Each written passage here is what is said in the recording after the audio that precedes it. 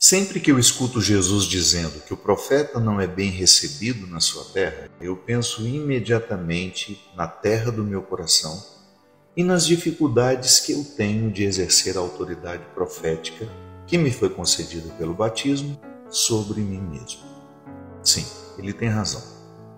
É muito difícil ser profeta para si mesmo, pois toda profecia consiste num primeiro momento esclarecer depois encaminhar as mudanças que poderão alterar o que foi esclarecido.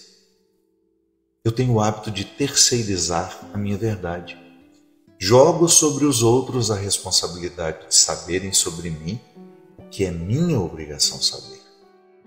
Eu preciso aprender a desfrutar a dimensão profética do meu cristianismo, aprender a esclarecer e encaminhar.